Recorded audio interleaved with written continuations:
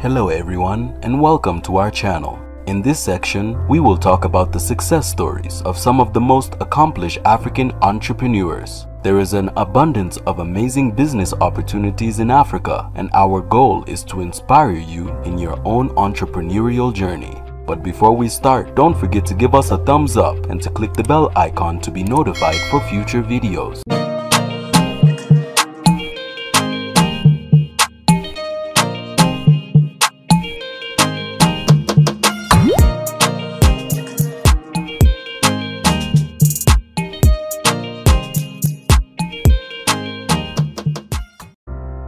In today's video, we will talk about Mohamadou Abbo Ousmanou, a Cameroonian businessman from Adamawa and one of Cameroon's largest maize producers. We will tell you how by dint of work and sense of investment, this baron was able to build his empire. It was in 1936 that Alhadji Mohamadou Abbo Ousmanou was born in the Vina department in northern Cameroon. He admits that he never wanted to go to white school, but says he writes and speaks French and English correctly now. Come to signify that he is endowed with a different education. When his father disappeared when he was only seven years old, he and his brothers were placed by force of circumstances under the guardianship of one of the friends of the deceased, Alhadji Mohamedou Bodédjo, who raised them well, he says. His first Western degree was obtaining a driver's license in 1956. Thanks to the driver's license, he works as a driver for the head doctor of the Central Hospital of Ngaoundéré, Captain Loez Jacques. Then he embarked on public transport as a rental driver for Alhadji Mohamadou Pantami in Garoua, who paid him the sum of 150,000 francs CFA per month by regularly honoring the deadlines. As an ambitious man, he is not satisfied with his salary as a career, and thanks to his savings, he launches in parallel in the trade. Later, he will obtain a bank loan to buy his first transport bus. Over the years, the son of Ngaoundéré will build his fortune little by little between livestock trade, general trade, agriculture, transport, tourism, industry, among others.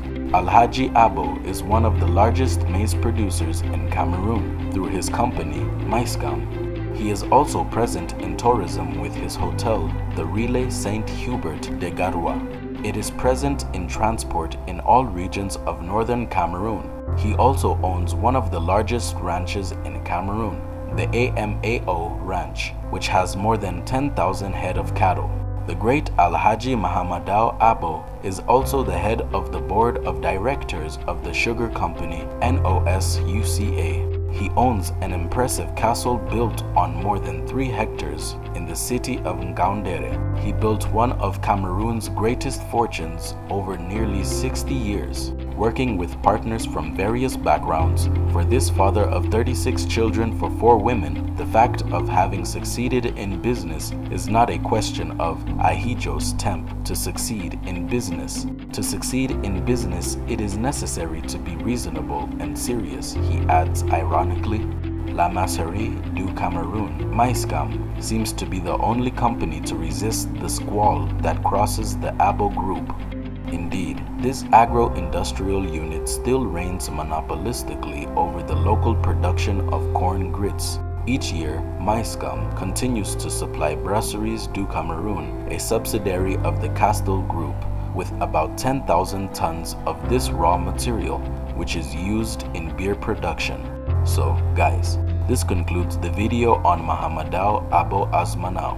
If you also have an idea or you want to start your business, click on the link below this video to join our accelerated training in digital marketing. Give us a thumbs up and see you in the next video. Until then, keep smiling.